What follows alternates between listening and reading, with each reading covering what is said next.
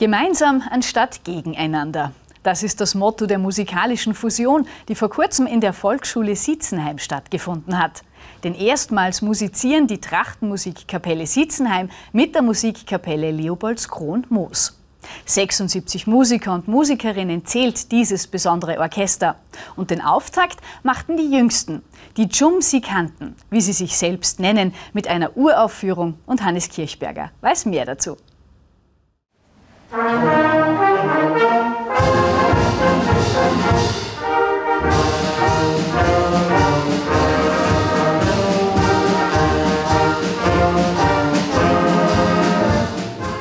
verbindet. Das stellen die Trachtmusikkapelle Sitzenheim und Leopold Kronmoos bei einem gemeinsamen Konzert unter Beweis. Und der Beginn gehört dabei den Jungmusikantinnen und Musikanten.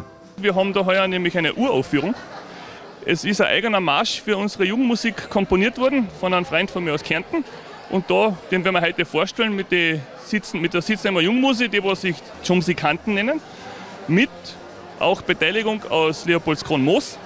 Und wir machen da jetzt eigentlich aus einem Jugendorchester machen wir jetzt ein, ein zweites, ein großes Jugendorchester, wo wir andere Jungmusiker, die was keine Möglichkeit haben, irgendwo mitzuspielen, bei uns einfach mitarbeiten können.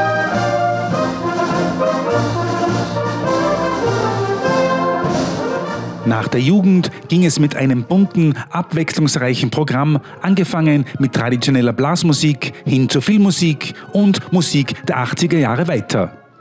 Die Orchesterleitung wird dabei ebenso geteilt wie die 76 Plätze der Musikerinnen und Musiker auf der Bühne.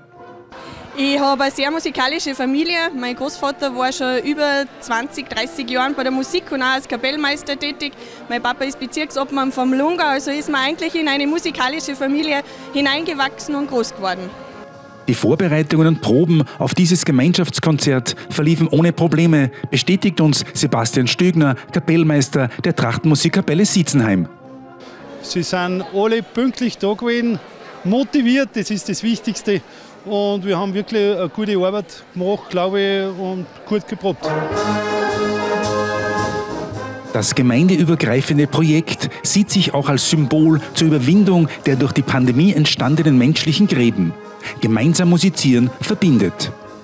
Ja, wir ein paar Sitzenheimer helfen ab und zu bei uns aus und aus denen ist ein Gespräch ausgekommen und von dem Gespräch haben wir halt einmal dann gesagt, jetzt probieren wir mal ein Gemeinschaftskonzert überhaupt nach der schwierigen Zeit, was wir jetzt gehabt haben. Haben wir gesagt, Musik verbindet und jetzt haben wir halt einmal probiert, dass wir einfach äh, zusammen musizieren.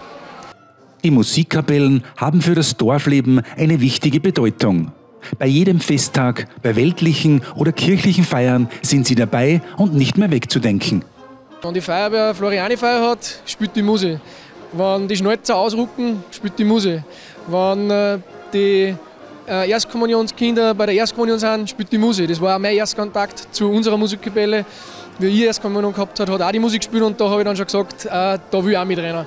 Und das war so quasi die Initialzündung. Also die Musik ist im Dorf fest verankert, bei allen Traditionsvereinen immer mit dabei.